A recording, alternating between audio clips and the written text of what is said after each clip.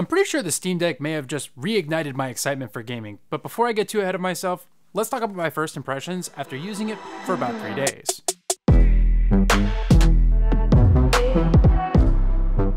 What is up guys, my name is Tyler, and today we're looking at the Steam Deck. Now that you can easily get your hands on one, I decided it was time I picked one up for myself to see if it was worth my time. And well, speaking of time, let me save you some by saying yes.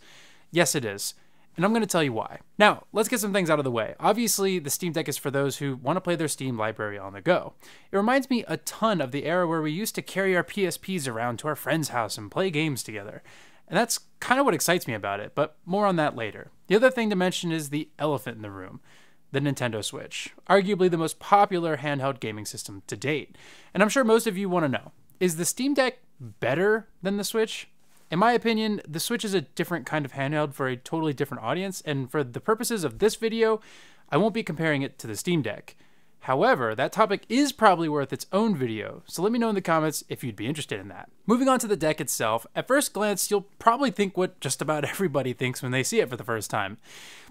It's a big Nintendo Switch. However, holding the Steam Deck for the first time is an entirely different experience.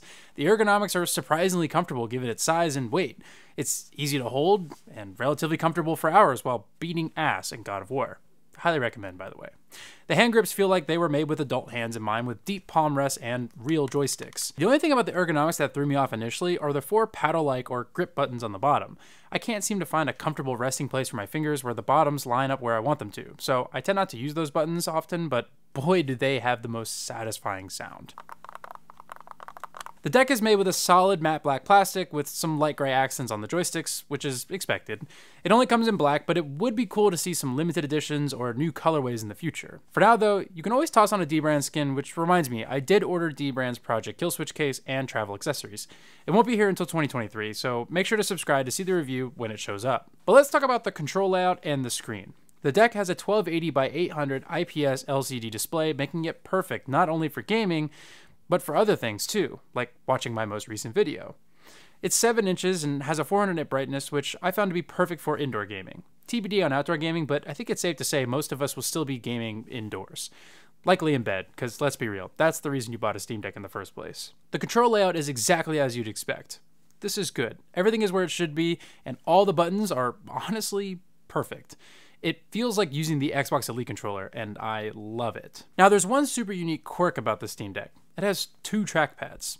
Yes, two, like the one on your laptop. Why? Because the Steam Deck is also a computer, so those trackpads come in handy when scrolling or using a cursor in desktop mode or in games that need a cursor. I'm happy to report that these are super nice to use. They universally click wherever you press, like a MacBook trackpad, and have adjustable haptics, which really add to the experience overall. But more on those in the full review. Okay, back to what I was saying before. The Steam Deck has quite literally reignited my excitement for gaming, even in the short time that I've had it. I personally haven't been this excited about a handheld gaming device since the original PSP, and even though I've only used the Steam Deck for a few days, I'm already so impressed by what I've seen so far. It gives you the unrelenting freedom to play any game you have in your library, anywhere you want.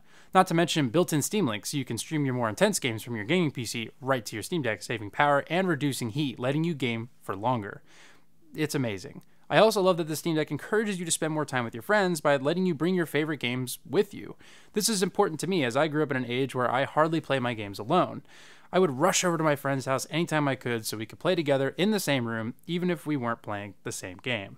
The Steam Deck lets me relive that, but with the games me and my friends played today, which I can't begin to say how nostalgic that is.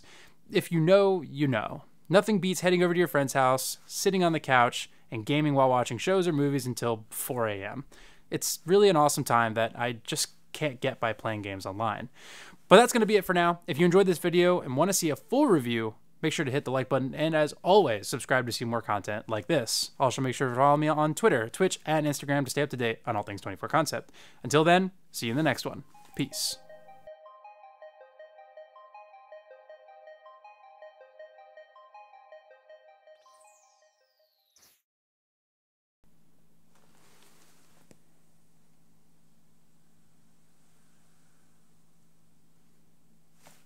Look at this.